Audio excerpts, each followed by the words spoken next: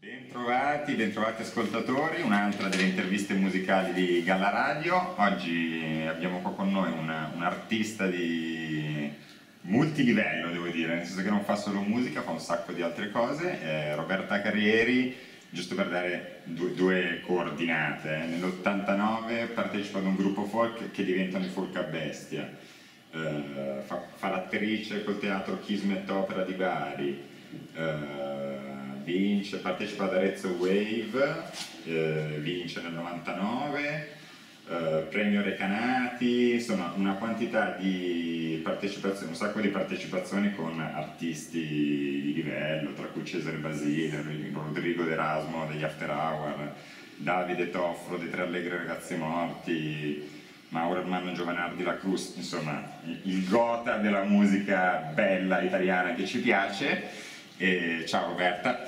Ciao Davide e Nicola. Ciao Roberta. Com'è che di, di, tutte queste tue come dire, capacità, aspirazioni artistiche, alla fine la musica mi pare che abbia avuto un ruolo predominante? In realtà io ho iniziato con la musica quando ero molto piccola, avevo tipo 15 anni e ho iniziato a suonare folk irlandese e scozzese con un gruppo di ragazzi molto più grandi di me poi mh, mi hanno coinvolto in un sacco di progetti e a un certo punto della mia vita ho cominciato ad annoiarmi eh, della musica e quindi ho, detto, ho scoperto il teatro e ho scoperto che secondo me era la forma d'arte più interessante e completa perché racchiudeva in sé tutte le, anche le altre arti. E quindi ho detto adesso no, basta con la musica, voglio fare il teatro. Sono molto affascinato da questa commistione che in realtà hai portato anche un po' avanti no? tra la musica e l'immagine comunque, uh-huh. no? c'è questo progetto Press, mi pare che si chiamasse, sì. dove avete incrociato il, fumetto con la musica. Sì, è stata un'esperienza bellissima per me, perché innanzitutto a me piace tantissimo l'arte del disegno e Davide Toffolo è bravissimo, e poi vedere in tempo reale, perché praticamente la performance era che io suonavo la chitarra e cantavo in realtà delle canzoni sudamericane, perché questo era una graphic novel che si chiamava Tress, che era ambientata in un paese immaginario del Sud America. E, e lui in tempo reale disegnava eh, con una telecamera che riprendeva il disegno e poi proiettava il disegno sul muro. Quindi io vedevo nascere questi ed era bellissimo interagire perché ci ascoltavamo l'un l'altro reciprocamente, ci aspettavamo e ci seguivamo eh, facendo nascere questa immagine. È stato molto bello.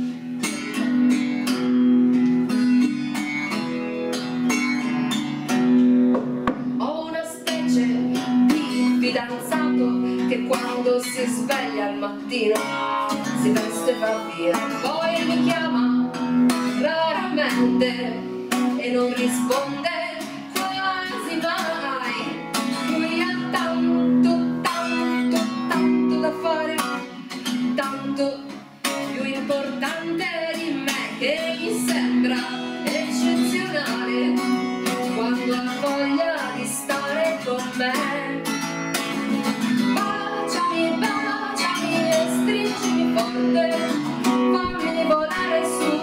questa città. Mangiami, mangiami che sono dolce miele e veleno per noi. Ho lasciato la mia città a Bari e sono partita alla volta di Milano e non conoscevo nessuno e piano piano ho cominciato a conoscere i musicisti, a crearmi delle situazioni qui ed era più facile per me farlo con la musica perché non si può fare tutto, anche se io vorrei fare ah, tutto. Tra l'altro questa cosa di arrivare a Milano è un tema interessante, Milano è una città molto fredda, molto chiusa, poco ospitale, tu come, come te la sei vissuta così allora, da, da, Barese a Milano? Allora, da Barese io veramente ti dico che questa cosa di Milano fredda e chiusa secondo me è un luogo comune che non rispecchia il vero per quanto mi riguarda.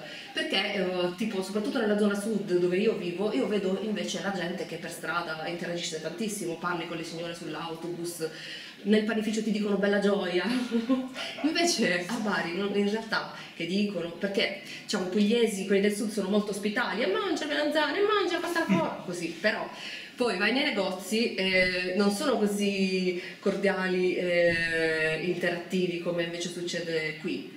Mi, mi, piace ricordare una cosa che è successa una volta uh, ad un mio amico di Ferrara che l'avevo portato a Bari e il pizzaiolo mi fa oh, chiudi quella porta! Che sarebbe tipo, oh, chiudi quella porta. Che diciamo che se tu vai, vai in un negozio e c'è corrente, non ti dicono, oh, chiudi quella porta, ti dicono, beh, bella gioia, bella gioia, già eh, più uno. Potresti chiudere gentilmente, poi io l'accento di Milano non lo so fare, però comunque ti dicono bella gioia. Bella gioia ti è piaciuto? Sì, diciamo eh, in Puglia sono molto diretti e un po' maleducati, però questa di- direttezza, direzione, come si dice, è simpatica.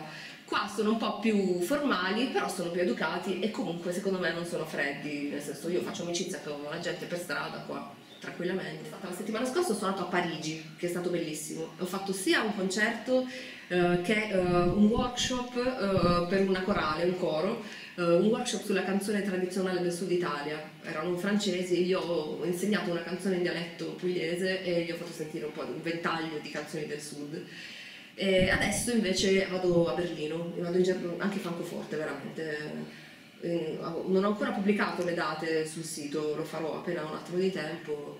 Eh, le altre cose bollono in pentola, comunque sul sito c'è sempre scritto tutto, il sito lo ricordiamo è www.robertacarrieri.com, poi c'è anche il Facebook, la fanpage eh, e anche Twitter. Rieccoci, rieccoci, questa è una Bari Vecchia e andiamo avanti con la chiacchierata con Roberta. Abbiamo parlato di teatro, abbiamo parlato di musica e fumetti. Adesso parliamo di calcio. no, non sono capace. no, senti, ma eh, di, di, musica si vive? Sì. Sì. Sì, sì. Bisogna essere un po' acrobati, ma si vive. Cioè, in che senso acrobati? Acrobati nel senso che diciamo non è uno stipendio fisso, quindi ci sono dei periodi in cui fai tanti concerti, dei periodi in cui invece magari devi scrivere e quindi non, non hai entrate economiche, però se tu sei acrobata, quindi magari mm, quando guadagni non ti spendi tutto in macchine eh, calcio, donne e cocaina, non so. È un po' la storia della cicala e la formica, bisogna fare la formichina. Cicale e formiche nello stesso tempo, perché la canzone Cadillac, che è la terza traccia, invece è una canzone molto autobiografica e parla di una proposta di matrimonio che io ho avuto veramente in Utah, a Salt Lake City. Uh, proposta di matrimonio con anello di diamanti e Cadillac, appunto, che io ho rifiutato.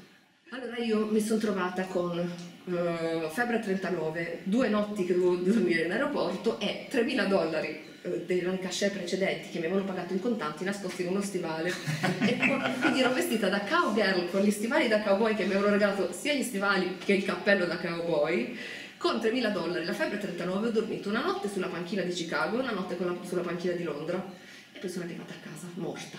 Non male, morta ma felice.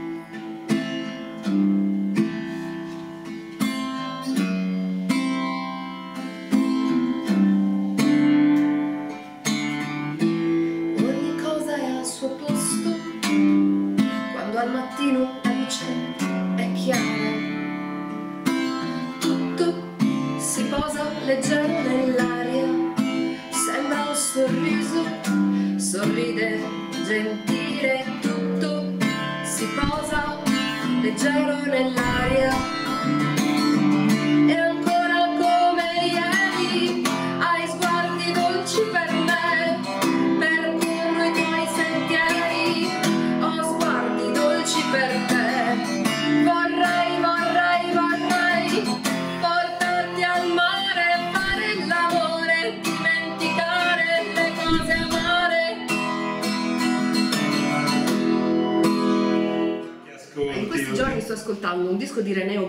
Compositore francese che fa musica per la danza contemporanea, perché sono stata a pranzo a casa sua a Parigi e me l'ha regalato ed è bellissimo.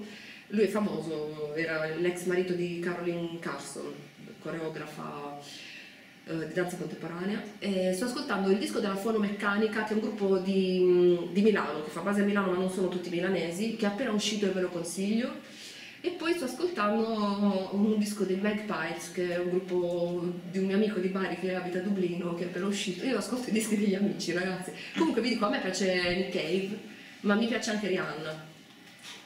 Madonna, ma anche gli Einsturzen der Rebauten. Sai spaziare. Mi piace insomma. tutta la musica, sì. No, è bello anche questo approccio, ascolto i miei amici, insomma, che eh, fre- fre- frequentando musicisti eh sì. lì si pesca, insomma. Sì, sì, infatti. Poi sono scalette, varie scalette, Bellissima. la scaletta da 20 minuti, la scaletta da un'ora, la scaletta che ho fatto boh, in, in Francia, la scaletta che ho fatto di, cioè, cambia a seconda. E allora ce l'hai un altro pezzo da Sì, farci, sì. dai, poi ci Sto solo salutiamo. pensando a quale, penso che posso farvi. Ah, Vediamo un po'. eh. Vi faccio relazione complicata, sbaglio sicuro.